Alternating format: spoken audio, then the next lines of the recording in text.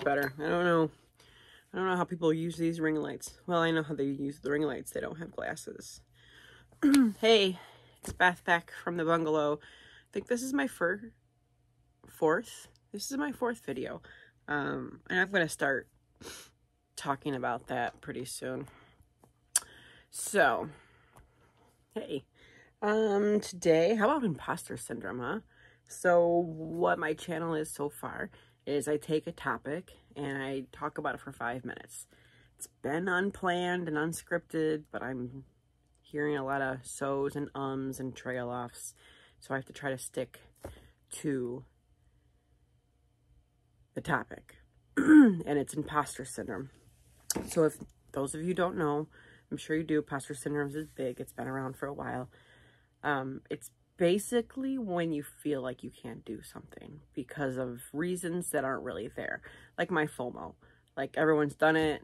I don't have any original ideas. I'm not going to succeed. Someone's going to do it better.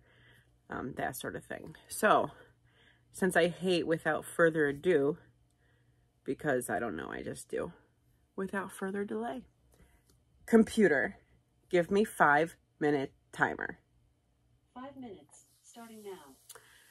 So I've had imposter syndrome for as long as I can remember since I've started doing things. Like entrepreneurial things or like big things. Um,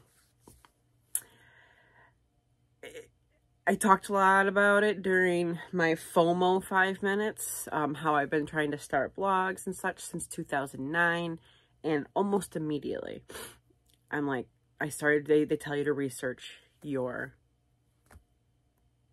competition.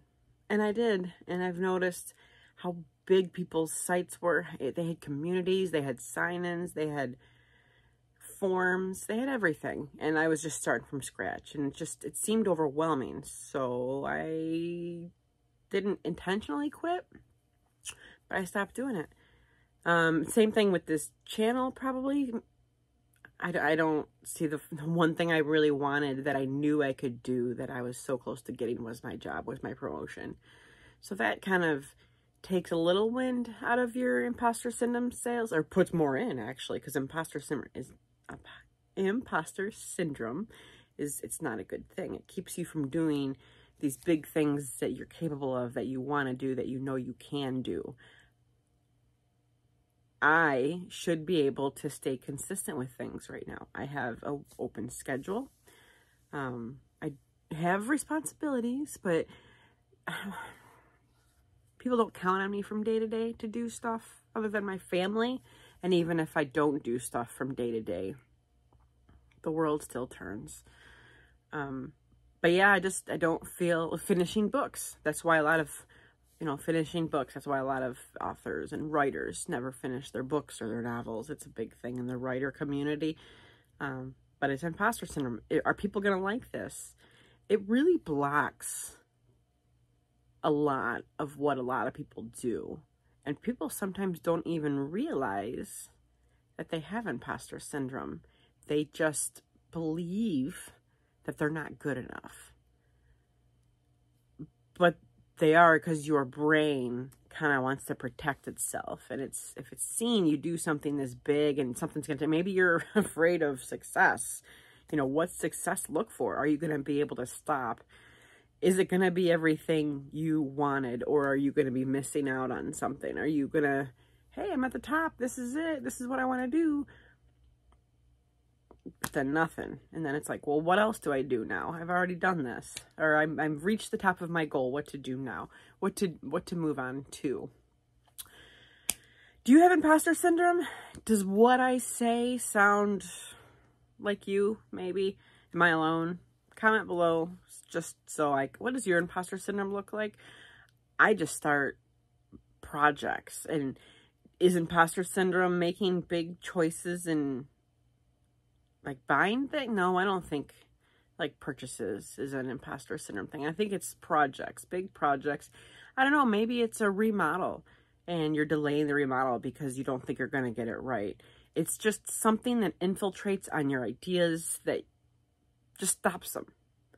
For me, it can be my uh, my borderline personality disorder um, because I can see two sides of everything all the time right away immediately. And oftentimes it's, you know, I'm arguing with myself and people don't think that I have an opinion when actually I just, I see the reality of a lot of different angles. That's not imposter syndrome. I shouldn't have brought that up during my imposter syndrome five minutes. So imposter syndrome, right now I probably have five books from FOMO. I'll probably put the link down below or maybe I'll put a card up right there.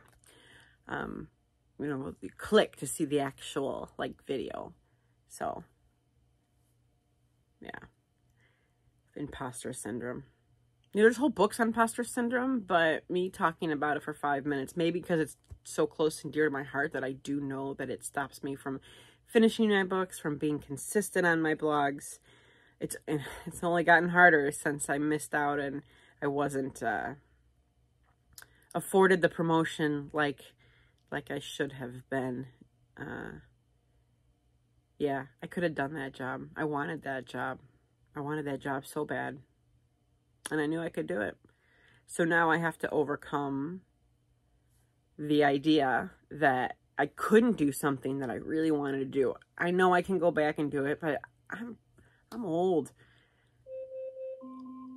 I guess we'll end on my I'm old. Not my mold. I'm Computer cancel. I'm not mold. I'm old. But I'm not really that old. I'm just, I just, I'm old in that industry. I really am. Um, and my name's kind of out there, so I don't know how fruitful my industry career would be by now. So that's, that's imposter syndrome. Um, sorry if I didn't go deep enough into it. I'm still trying to get back into this and over editing and overthinking and over scripting and, and cuts and retakes. I just don't want to fuss with that anymore. Maybe that's imposter syndrome. I don't want to make it perfect, right? So people don't watch me. yeah, used to. I used to try for a long time. I would try to get into it. I would try to post every day or change something every day or bring attention to myself, Twitter, Facebook, Instagram, Pinterest. I put it all out there. In fact, at one time I had a, a TikTok account until I didn't because of a lot of reasons. A lot of reasons. Anyways. So thank you for watching me for uh, eight minutes. And um, I have a couple of other, a couple of other uh, topics uh, that we're going to be covering. I'm going to be covering later.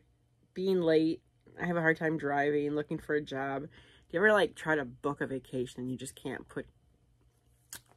I will see you next time on my next five minutes. Have a good today. What was it? Have a good rest of today and a great tomorrow. I'll get something consistent soon. Bye, y'all.